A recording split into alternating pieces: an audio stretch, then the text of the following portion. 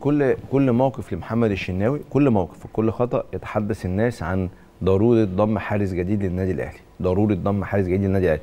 وليس آه لابعاد الشناوي. هو دايما يقول لك إيه؟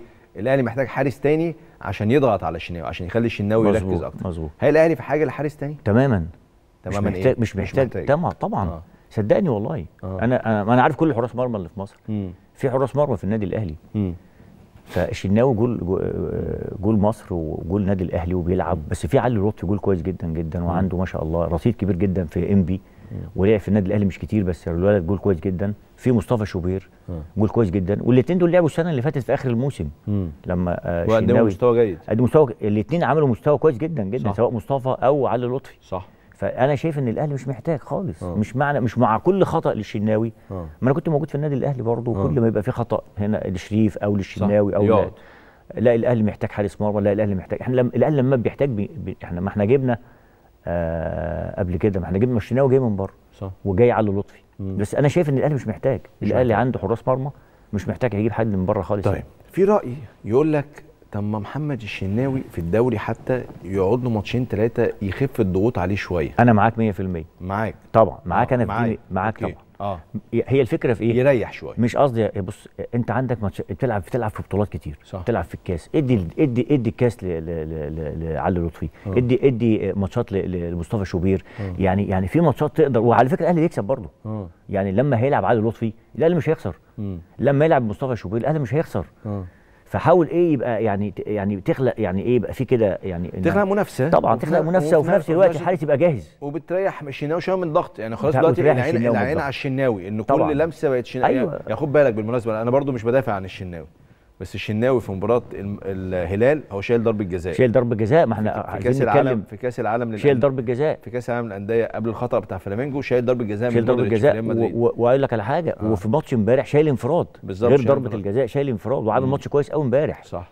فالناس إنما حظه بقى إن الكره جت في يعني في في في- عين يعني في الشمس فممكن يعني يعني إنما هو الخطأ ده يعني دي دي تخش في الشناوي مستحيل. مم.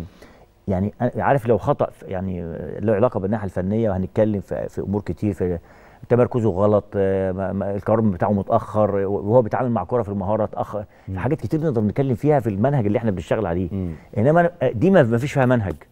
مم. دي ما فيش فيها منهج. آه، محمد الشناوي المباريات الأخيرة ليه؟ أنت شايفه في حالة جيدة ولا شايف إنه في هبوط منطقي في المستوى بيتعرض ليه اي حارس في العالم. بص الشناوي مم. اخر آخر ست ست سبع مباريات في الدوري أفضل ما يكون. ما عندوش أخطاء تماما. آه. تماما في آه. الدوري. آه. الأهلي بيكسب وماشي كويس جدا والشناوي عامل ماتشات. كويسة جدا. صح. الزمالك وغير الزمالك وبعد الزمالك الأهلي ماشي كويس جدا. مم. راح كأس العالم أول مباراة.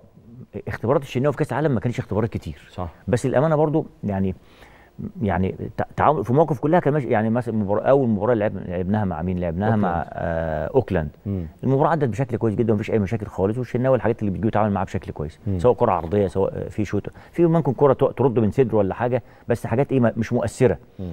المباراة الثانية لعبناها برضو مع آه، آه، الفريق الأمريكي آه سياتل سياتل.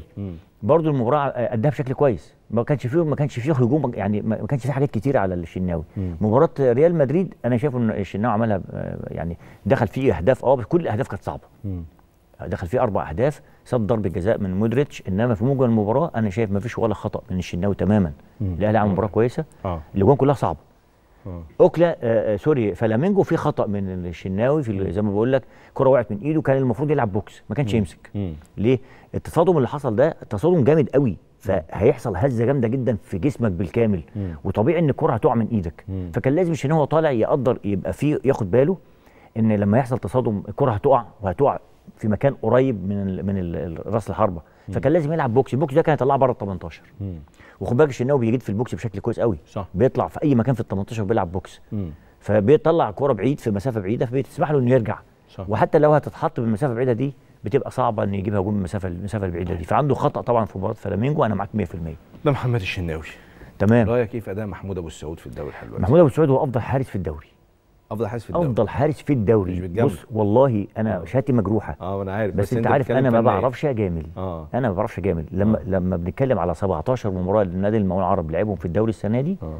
أداء المقاولون العرب آه على فكرة في لعيبة كتير عندنا كويسة. مش أبو السعود بس لعيبة كتير جدا جدا أنا بكلمك في حاجة ولسه هكلمك عن المقاولين بشكل عام. إنما أبو السعود هو واحد هو يعني لو لو بنتكلم على الفترة اللي, اللي خلاص يعني إحنا خلصنا الدور الأول وبدأنا الدور الثاني.